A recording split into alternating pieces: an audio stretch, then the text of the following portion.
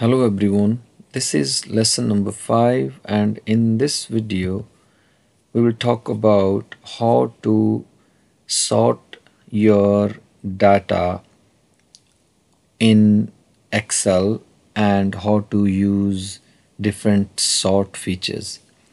So here on your screen you can see there is a table and this is all about students exams so I'm going to use this for an example. So I've got some names here in the first column and in the second column all the date of births. In the third column is class names. Fourth column is the subject name. And fifth column is marks. And sixth column is the result of the exams if someone is pass or fail. Let's talk about the first column first.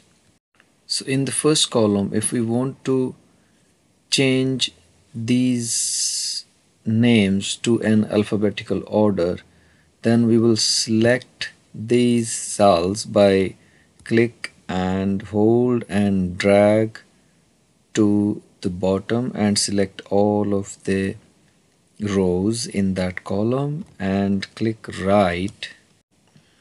Then you can see this sort option and number one is sort A to Z and number two is sort Z to A. So I will choose the number one option and that is this one. As soon as I clicked on that option this window pops up and you can see this is a kind of sort warning. It's just telling me to expand the selection so that my data is not jumbling up after the sorting filter applied. So we are going to choose this option expand the selection. The warning is Microsoft Excel found data next to your selection. Since you have not selected this data it will now be sorted. It means the first column will be sorted but the rest of the columns will not be sorted and all of the data will be mixed up. So to avoid that kind of confusion we will try to expand the selection what it has already given us as an option. And this is being selected already as you can see. So we'll just go with this and click sort so when you do that then you can see it has changed all of these names into an order. That is alphabetical A to Z order. But it has also changed the rest of the linked information with this column. So for example if we are talking about Ahmad Ahmad had uh, some other information in these columns as well. For example his date of birth and his class name and his exam his marks and his results. So if we don't select the expand option so what will happen? Let's go back and check.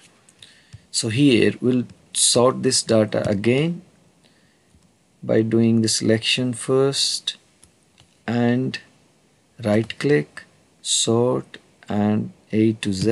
And it says expand the selection but we don't want to do this this time. So we will just go with the second option. And you can see only first column is in alphabetical order and it has changed its order but the rest of the columns are still same. It means the all of the data is jumbled up so to avoid this kind of situation we should actually go with the expand the selection option. So I'm going back again.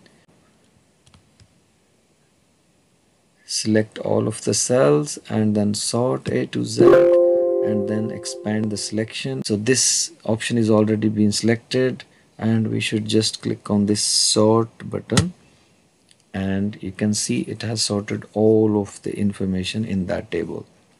Table could be bigger than this. It can be of any size.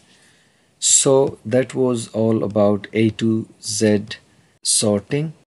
But if you want to do this to another column we'll just select the data and and we will go with these options. Sort oldest to newest sort newest to oldest. So I will go with the first one. Now it will ask us the same question again and I will go with expand the selection. And you can see this is in order now. So the oldest one is here and the youngest one is here. Now if I want to sort this column I will select the rows in that column. Right click and go to the sort button. Try sort A to Z or Z to A. So I will go with A to Z. It means lowest to highest. So expand the selection. Then you can see all the year ones are first then year twos then year threes are there so if you want to see the marks in an order where you can find the top 10 of the group or just top 5 of the group or top 3 or just the highest then you just select these all rows and right click and go to the sort option again. So use this option second option sort largest to smallest go with expand the selection option as well so you can see Sandeep has scored 84 and he is the topper. Ahmad has scored 82, he is second and Fatima has scored 71 and she is the third one. That is it for today and I hope you liked the lesson. So I will be back with a new lesson soon. Please subscribe my channel and please like and share my videos. Thank you. Thanks for watching and see you soon.